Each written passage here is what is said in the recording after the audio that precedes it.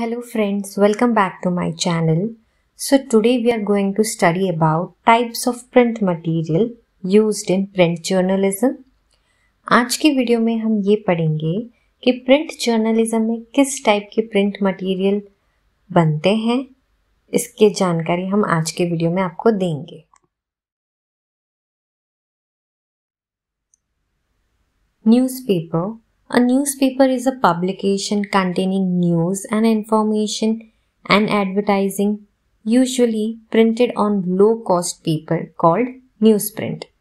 So the first print material जो बनता है वो है न्यूज़पेपर न्यूज़पेपर में हमें इंफॉर्मेशन मिलती है न्यूज़ मिलती है हम एडवर्टाइजिंग देखते हैं और ये सब जो पेपर जो बनता है उसे हम न्यूज़ प्रिंट कहते हैं next print material is tabloid half the size of the usual size of newspaper broadsheet at 380 mm by 300 mm and often perceived as sensationalist in contrast to broadsheets.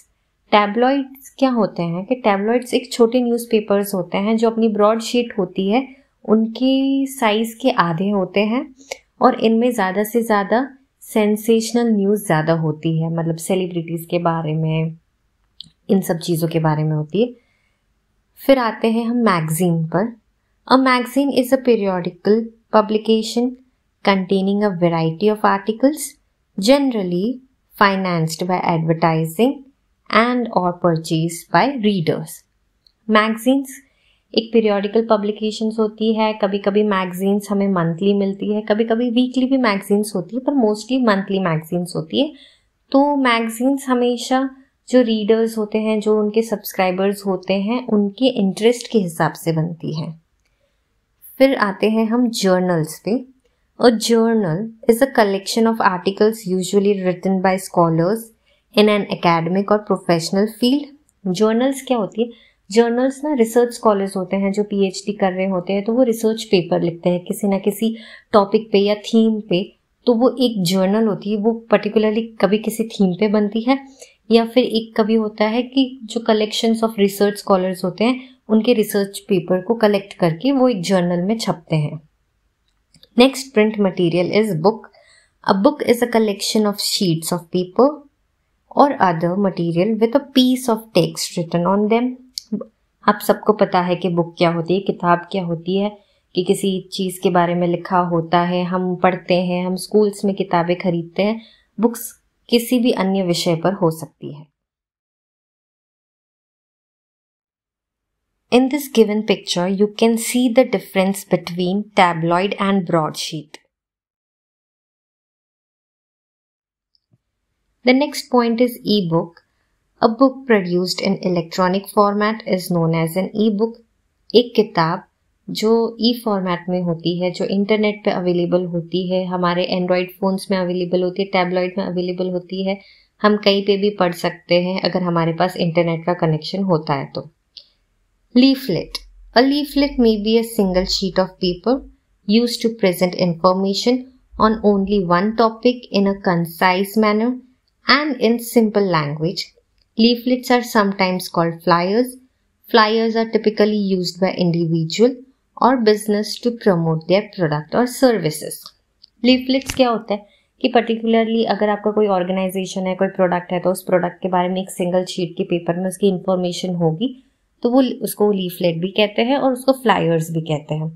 Next is pamphlet a pamphlet is a single printed use page for advertising and event service or other activities pamphlets क्या होते हैं? कि अगर हमारी कोई भी advertising करनी होती है, जैसे एक फॉर्म ऑफ़ अ पोस्टर जैसे ही होते हैं, पर हम उनको पैम्पलेट के नाम से भी कहते हैं। Handouts a handout is something given freely it can refer to materials handed out for presentation purpose or to a charitable gift among other things handouts क्या होता है? कि कभी कभी अपना कोई न्यू प्रोडक्ट होता है, कोई लॉन्च होता है तो अपन को free sample as a charity देते क्यों देते हैं? ताकि लोग उस प्रोडक्ट के बारे में जाने, उसको यूज़ करें, ताकि अगर वो यूज़ करें और उनको अच्छा लगे तो वो नेक्स्ट टाइम अपने प्रोडक्ट को खरीदेंगे। कितनी बार ऐसे होता है ना कि न्यूज़पेपर्स के बीच में आपको किसी प्रोडक्ट के बारे में मिलता है, जैसे ट्रेस में शैम्पू जब लॉन्च हुआ था तो उसकी एड के साथ न्यूज़पेपर में उसके छोटे छोटे से सैशे आते थे। Next is newsletter letter is regularly distributed publication generally about one main topic that is of interest to it subscribers newsletters क्या होता है कि कभी कभी जैसे आप ब्यूटी प्रोडक्ट्स की कोई वेबसाइट है, वहाँ पे जा रहे हैं, आपको किसी चीज़ के बारे में पढ़ना है या फिर आपको कभी कोई चीज़ खरीदनी है पर वो सोल्ड आउट हो जाती है तो आप उसमें नोटिफाई में जाते हैं। और फिर उस वेबसाइट्स पे नीचे हमको, जब हम उस वेबसाइट्स को पेज लीव करते हैं तो हमको एक ऑप्शन आता है कि अभी हमारी वेबसाइट पे कुछ भी नया अपडेट आता है, कुछ भी नया प्रोडक्ट लॉन्च होता है, या कुछ डिस्काउंट ऑफर्स कुछ भी आते हैं तो आप सब्सक्राइब करें अपनी ईमेल के साथ ताकि वो एक इन्फॉर्मेशन हमको देते हैं। तो उसको हम कहते हैं newsletter In this given picture, you can see the difference between how the flyer looks and how the leaflet looks. The next point is folders. A folder is a single piece of paper folded once or twice when opened material is presented in sequence.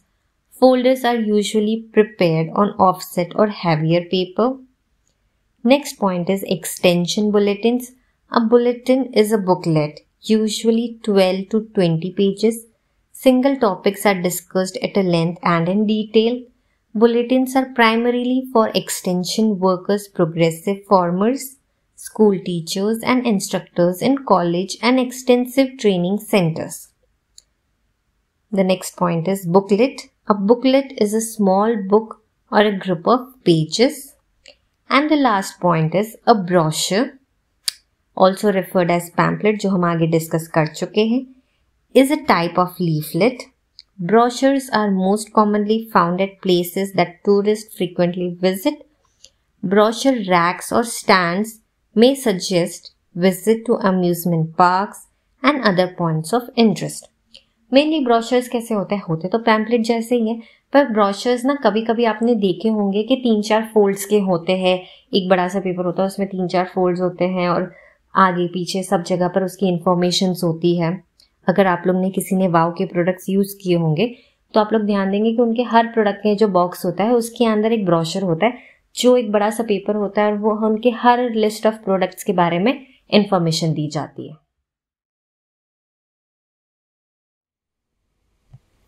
In this picture you can see that what are the sizes of booklets if they are in the different shapes.